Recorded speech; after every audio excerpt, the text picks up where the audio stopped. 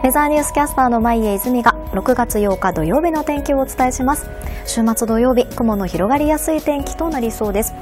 土曜日は東北から西日本にかけて特に日本海側の地域を中心に雨が強まり強風も伴う恐れがありますので注意をしてください。また大阪や東京など太平洋側の地域でも雨の降る時間がありそうです。関東は午後は雨が強まり雷を伴う可能性もあるので注意が必要です。北海道はお出かけに問題のない空となるところ多くなりそうなんですがにわか雨にはご注意ください。日本海側の地域雨が降ることもあって気温の上昇は控えめです。一方太平洋側は比較的気温が高めで少しジメジメムシムシと感じられそうです。東京など関東も雨が降る前はジメジメムシムシと暑く感じられることがありそうです。雨が降り出してからは寒暖差に注意してください。以上8日土曜日の全国の天気をお伝えしました。